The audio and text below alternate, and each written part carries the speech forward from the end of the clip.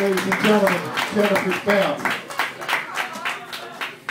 Sean, our sound man back there, uh, take us out Right. one more Sean.